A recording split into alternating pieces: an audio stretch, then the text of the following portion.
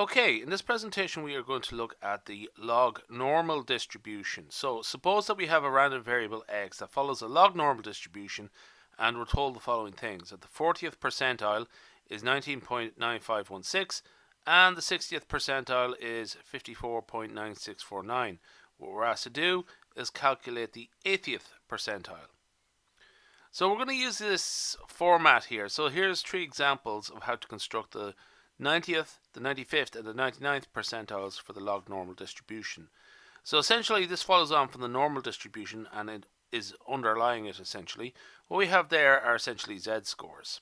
Okay, the Z score for 90%, 95%, and 99%. Uh, beyond that, what we have is the mean and the, the standard deviation of the log normal distribution.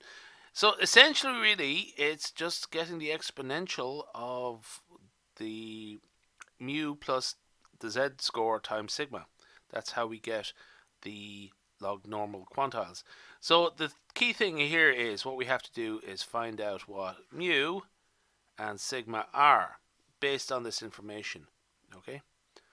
So what this is going to help us here that the 40th percentile from the standard normal distribution, the z-score, is 0 minus 0 0.2533 and the 60th is plus 0.2533. That sort of makes sense because it's they are equidistant from the 50th percent so they should be um, negations of each other okay Later on, we're going to use this z-score as well, 0.8416.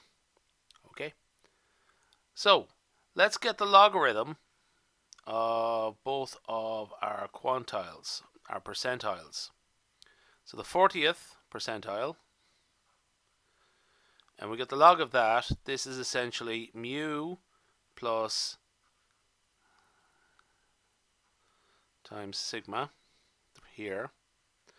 Mu plus the z-score of 40%, uh, 0.40 at times sigma, and likewise, okay, so essentially what we have there are simultaneous equations, okay? So, so in the first instance, the 40th percentile, mu minus 0.2533, remember this is the z-score for 40% or 0.40 is a negative number, is 2.933. For the 60th percentile, mu plus 0.2533 times sigma is 4.0067. Okay? So what we're going to do is add them together and that works out to be 2 mu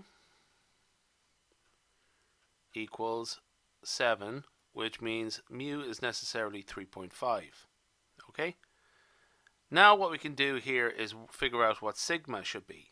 So 0.2533 must equal to 0.56, 0.5067. And assuming a little bit of rounding, that means that sigma is equal to 2. So in summary, mu is equal to 3.5 and sigma is equal to 2. That sort of makes sense now. If you get uh, a value like 1.19997 in a question like this, just assume it's rounding error okay, that you can just switch it to 2, okay? Don't have to be too literal about it. So what we can do now is calculate the 80th percentile. So essentially it is the exponential of 3.5 plus 0.8416. Now that was something I gave to you earlier on, times 2, and that is roughly 177.6828. Okay, so just to confirm that I gave you this number here just previously when I was looking at these here. So essentially we were looking at the tables to get these out. While I was looking at this and this, I also got out this just because I knew I would need it later on and that's where I used it down here. Okay, great stuff.